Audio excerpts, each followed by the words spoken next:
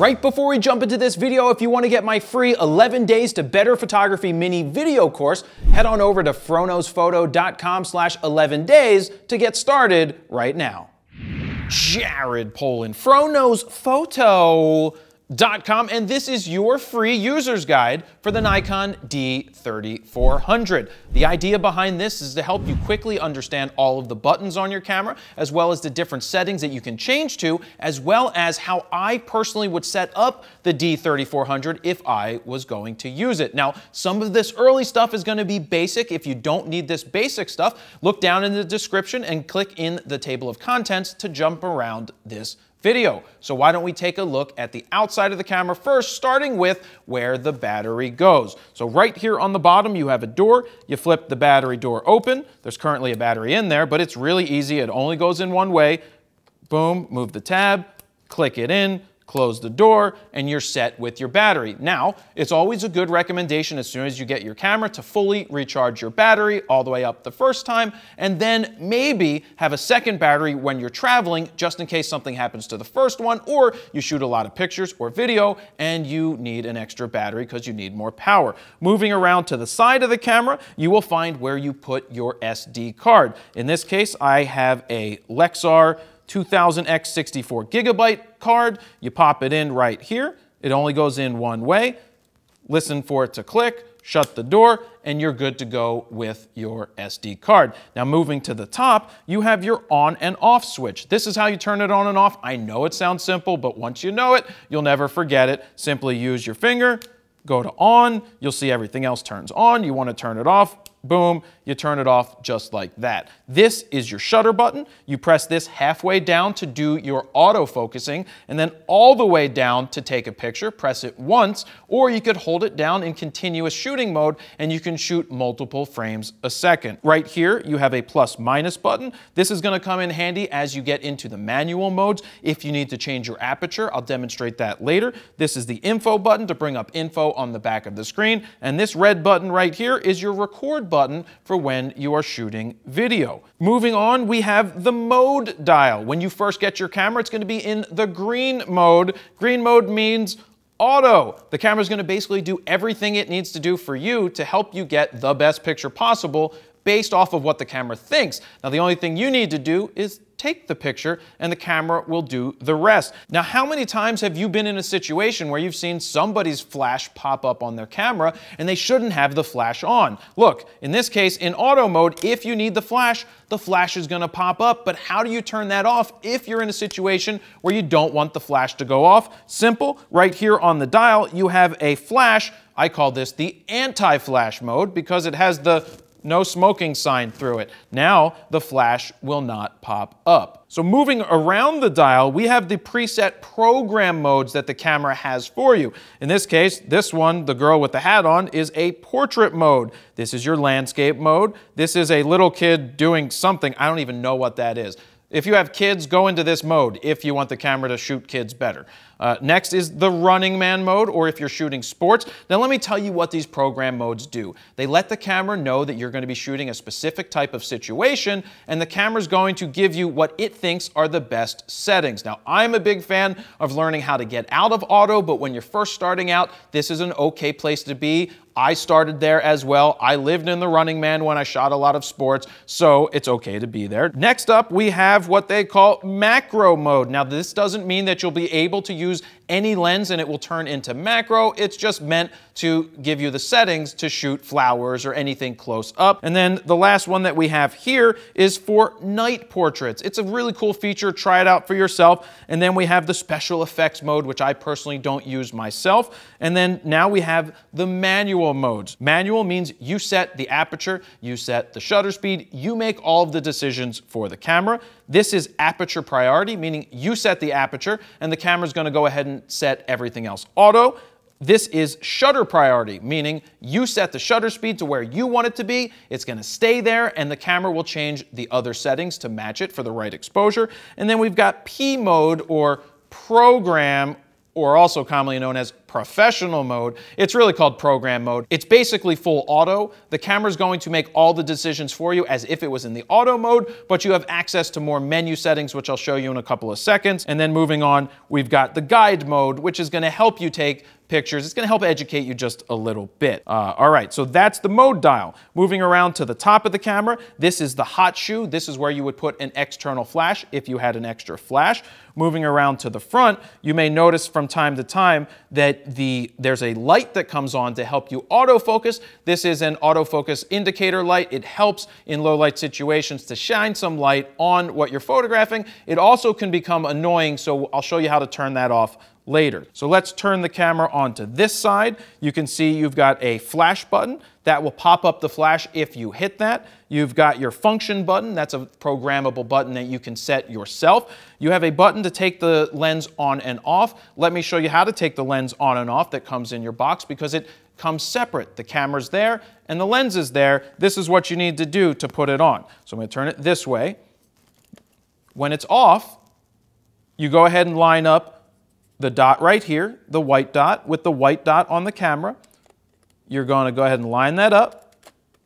Boom. Listen for the click as you turn it. And to take it off to change lenses if you have multiple lenses, you go ahead and click this button on the side, turn it away from you, take it off. Now keep in mind, you don't want to touch anything inside of the camera. Don't touch the mirror, don't play with that, don't do anything to that. That could render your camera not working if you mess something up there. It's sensitive stuff, so make sure you're careful when you put your lenses on and you take your lenses off. All right, let's keep looking around the camera. Right here, you see the camera's badge. That's right, this is a D3400. That's what it tells you it is. And then right above that, you see these three dots. That is where your microphone is for when you are shooting video. As we turn the camera to the side more, we have a Bluetooth symbol for connecting Bluetooth and doing your Wi-Fi. As you open this door, you will see you have a USB port, as well as an HDMI port. The HDMI port is for if you want to connect to your TV and show people your photos. You could also use SnapBridge. That is a function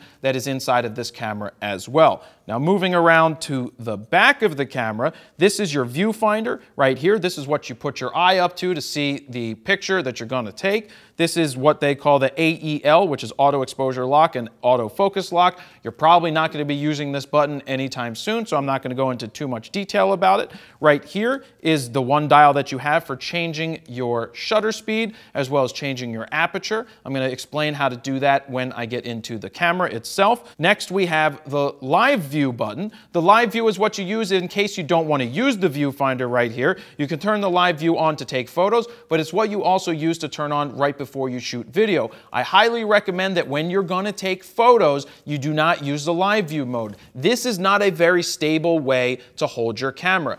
Tuck your elbows in like this and then move the camera up to your eye to get a more stable image. This is how I recommend shooting. Also, your hand goes underneath, not over the top or to do anything like this. This is the proper way to hold it. It's much more stable and you'll look better while you're doing it. All right, moving here, we have the up, up, down, down, left, right, left, right, BA, BA, select start button. This is your D-pad. That's how you get around your menu. That's also how you change focusing points. The OK button's in the middle. This right here is how you change how many frames a second you'd like to shoot. I'm going to show you that shortly. And this is your trash can. This is how you delete the images on the camera. I'm a big fan of not deleting any of the photos on the camera, just in case you delete something that may have been good that you would have noticed in the computer later. Moving around to this side of the camera, we've got the play button. That's how you play back your photos. The menu button to get into the menu system, the magnifying glass to zoom in on your photos or zoom out,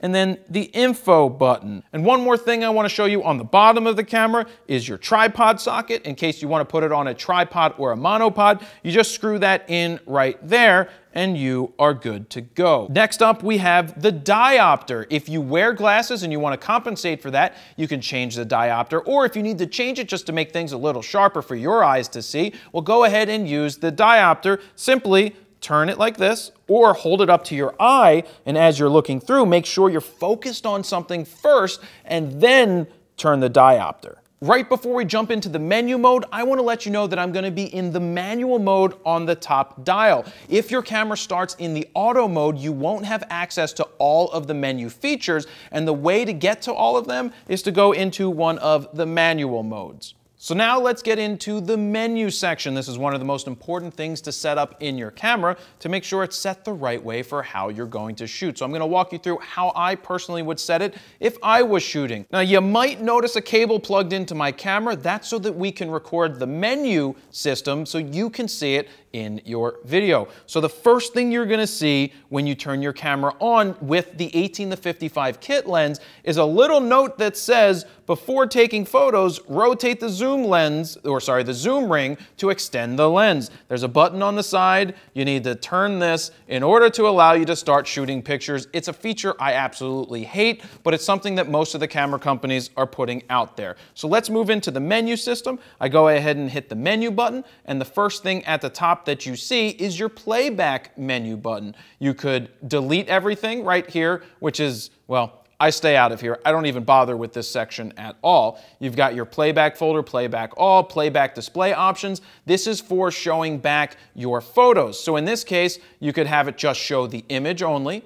You could have it show highlights RGB histogram, I don't personally turn on. Shooting data is definitely important. And overview, and then I go ahead and hit the OK button. Now, you may notice that little question mark that shows up in the bottom left-hand corner. On the camera, right here where the minus button is, the magnifying glass with the minus, there's a question mark. If you hit that, you basically have a user's guide or the manual built right into the camera so you can read it. It says, delete all or selected images. Protected images will not be deleted. So anytime you see that question mark pop up and you don't know what it's referring to, you can read it right there because it has in the entire user's manual built in to the camera. Now, I just changed the playback display options and they're all saved there. Let me show you what that looks like for one of the photos. Right here, if we hit up, you'll see this is with no information. This is with the information that it was shot with.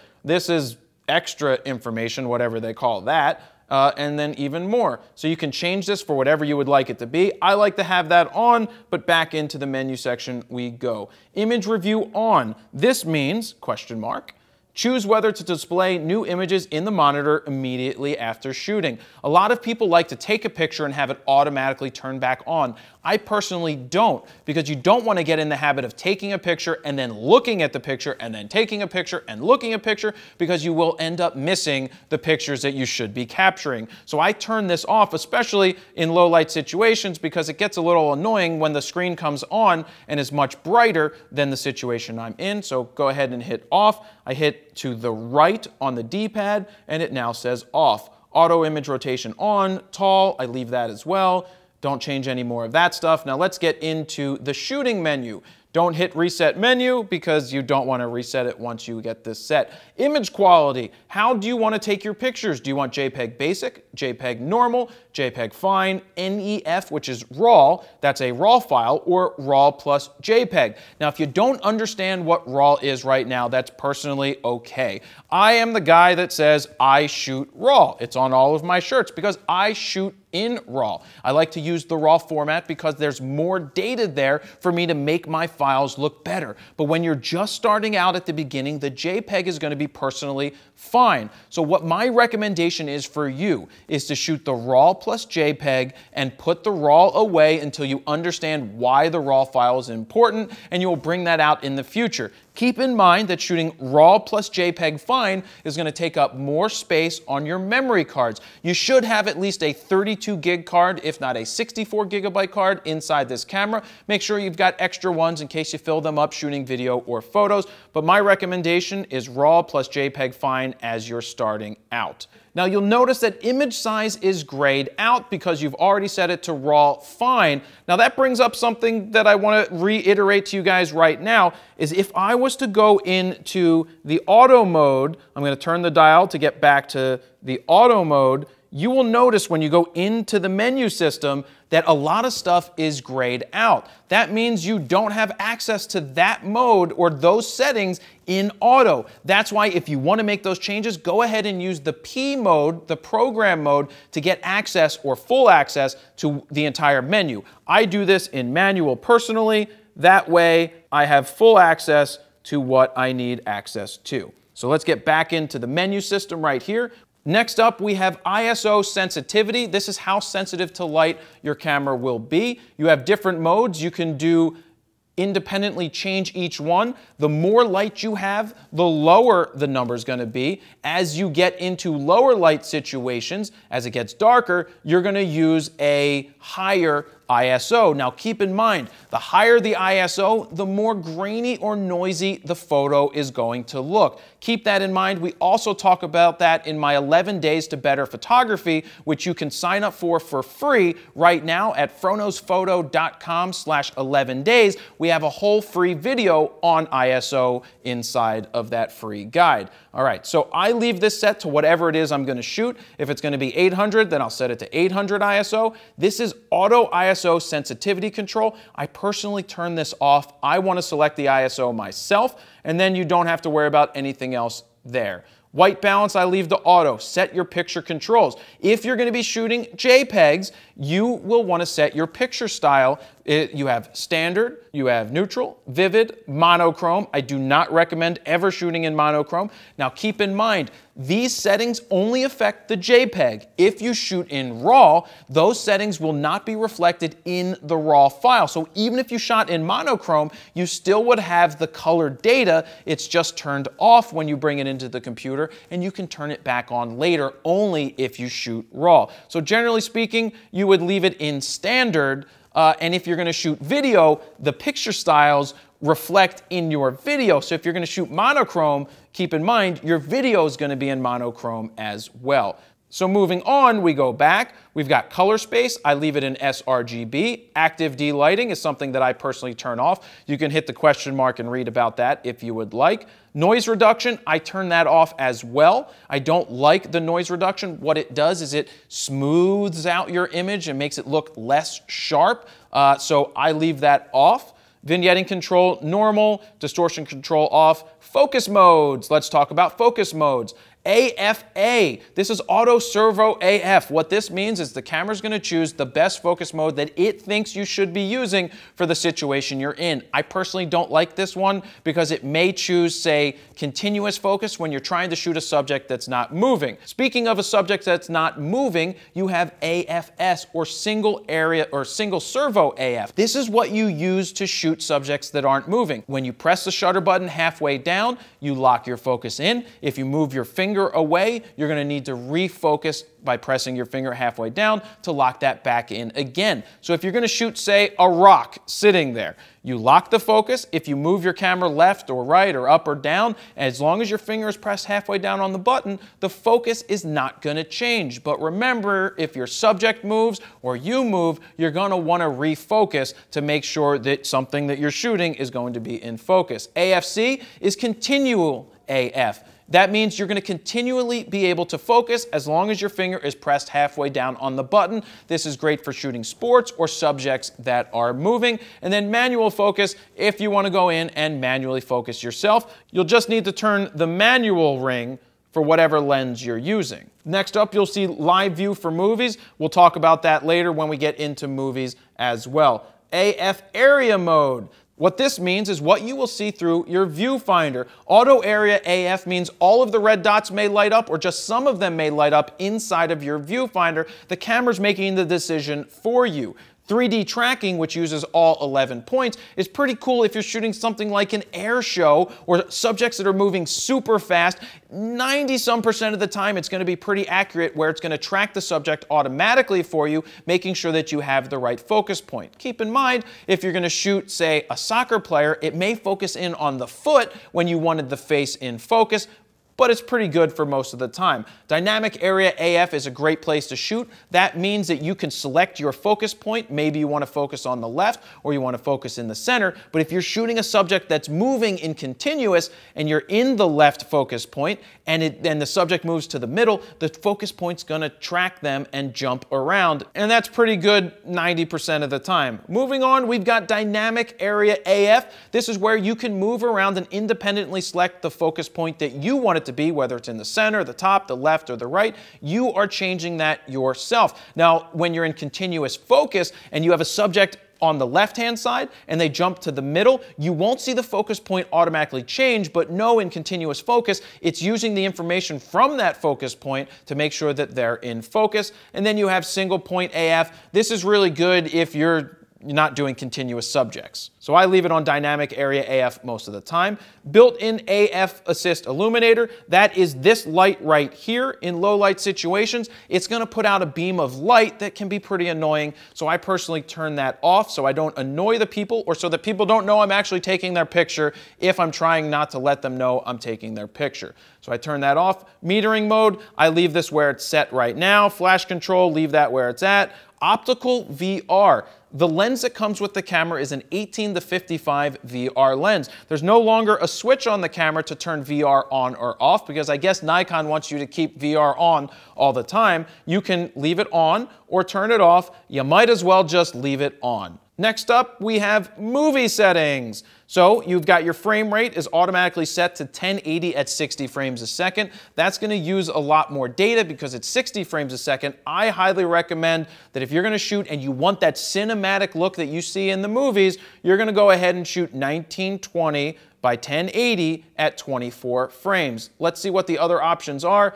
Those are the options. So if you want to shoot in HD, I, I recommend shooting in 24p. That's what you could do. Movie quality, always put that on the higher quality. You don't want to shoot at lower quality, but keep in mind that's going to use up more memory in your memory card. Moving on, we've got microphone. Most likely you're going to leave it in auto because you can't plug a microphone, an external microphone into this, but you actually do have controls for manual, but I'm gonna just leave it set to auto sensitivity right now. Uh, wind noise reduction, I leave off. Manual movie settings, I actually don't even know what that means. Why don't we hit the question mark?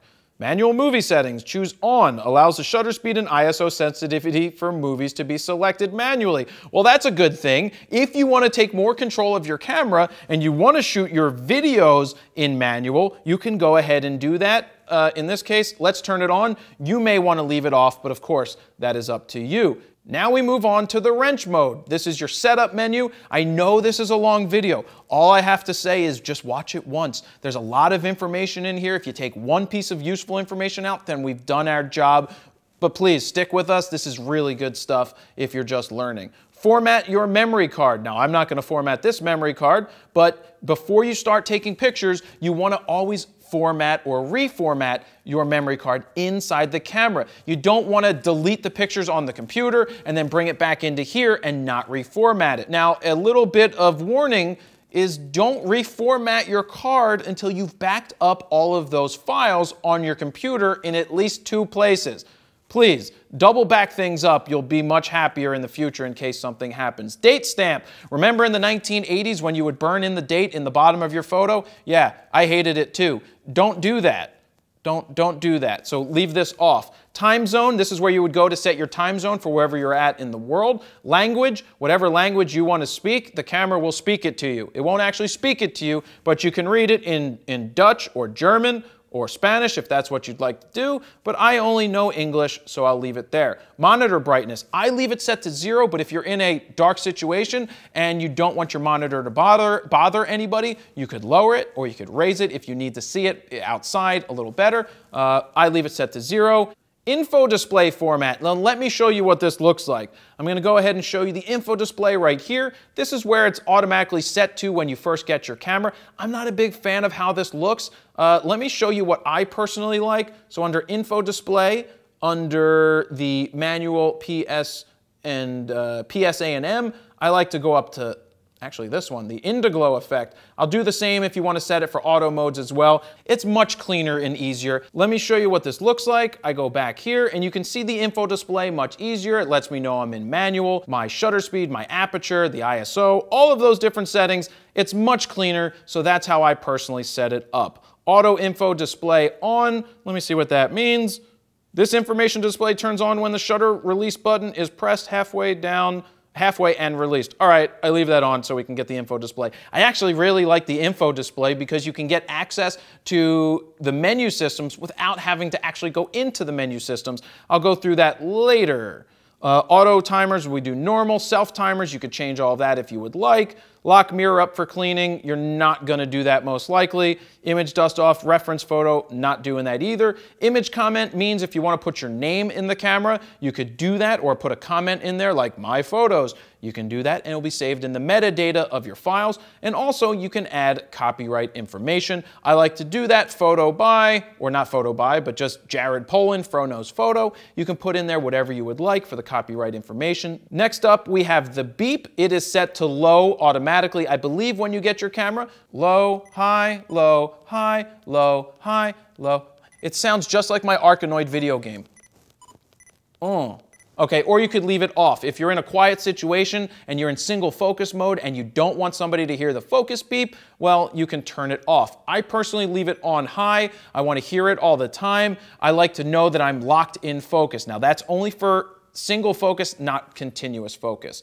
As we continue on flicker, I leave that on auto buttons. I don't even know what, ah, yes. You can change the different function buttons. I usually leave it just where it's at right now. Rangefinder, nope, leave that off. Manual focus ring is on. File number sequence, I like to leave this on. Now the reason I like to leave this on is because if I take 100 pictures and then I take the card out and I go and take another 100, I don't want it to say 0 through 100 every time. I want it to be 1, I want it to be 1 to, I believe it's 900, 9,999 before it resets back to 1 again. Now I leave the storage folder to 100. File naming, I leave it to DSC.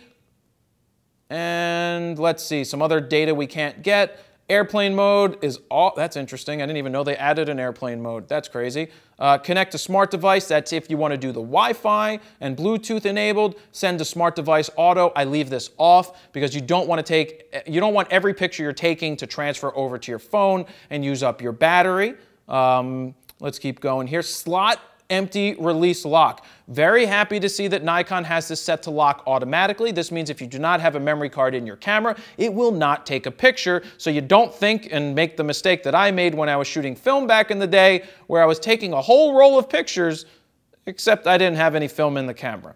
So Reset all settings? No, we're not gonna do that, and that is your setup menu. Right before we jump into the next section, you have a camera, you have lenses, well, how do you organize them and keep them protected? Well, I have a free app for you that you can download at mygearvault.com. Go ahead and check it out because it is the best way to input, organize, and protect your gear. So let's move on to the next setting. We just finished the setup menu. As we scroll down, we've got the retouch menu.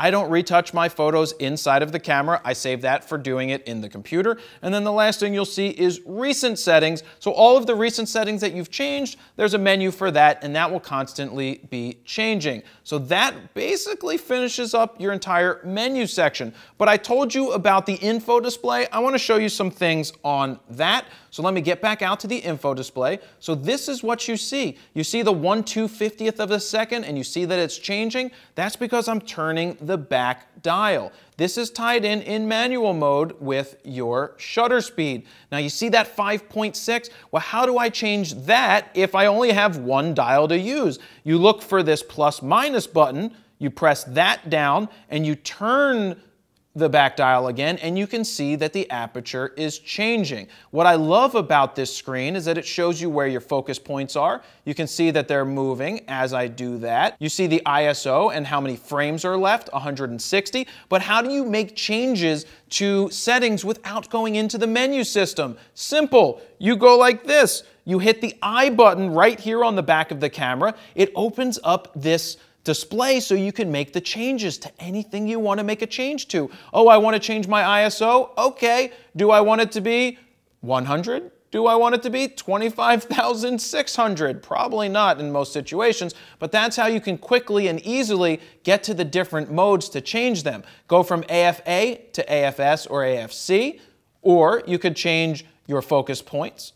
You could also change your metering, but everything that you found, or the most important things that you found in your menu system, they're found right here, so you can easily access them at any time that you want. It's great that you have that in this Nikon D3400. So next I want to show you how to look at the photos on your camera. Simply hit the play button right here. You can see that a photo's up on the screen. If you hit up, you change it to the different settings of the photo. You could see that also when you hit down. If you notice this blinky white thing, that means you have the highlights on. That is telling you that there is no data in that specific section of the photo. Don't really worry about that too much. It's there. Now to change through the images, you could hit to the right or you could hit to the left to cycle through and that's how you get through the images. Now, if you want to delete them, I don't recommend doing this. You hit the delete button twice to confirm. In this case, I'm hitting cancel because I don't like deleting the photos right on the camera.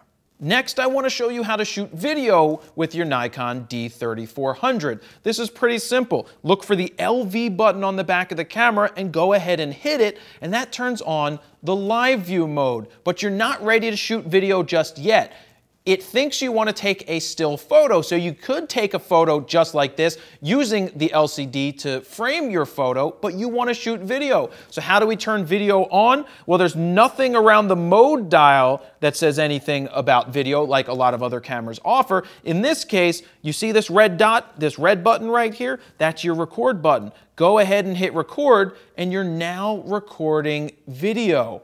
Yep, you are recording video at the settings you set in the menu setting for movie settings. Now, autofocus. Autofocus is not going to be very good inside this camera. This is where you're going to want to go ahead and get into manual focus and go ahead and do that. If you want to track your subject, it's going to be much harder because these cameras aren't really designed to fully track your subject. If you want to shoot something that's not moving, like this camera over here, I can press the shutter button halfway down, and you see the box is currently red. When I press it halfway down, it turns green and it's now in focus. So that is pretty much the video mode. It's simple. Get into live view, hit the record button. To stop the video from recording, hit the red button again.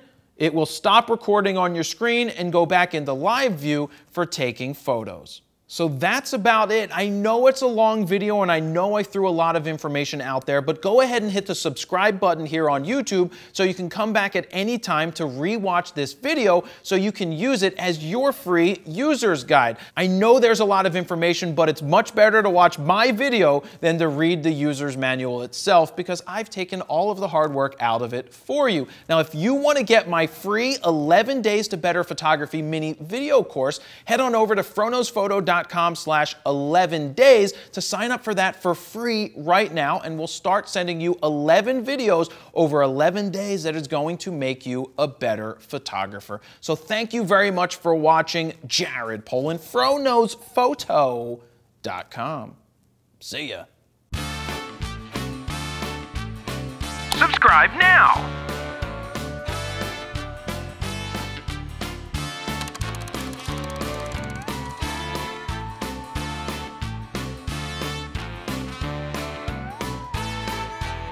Watch this, watch this video.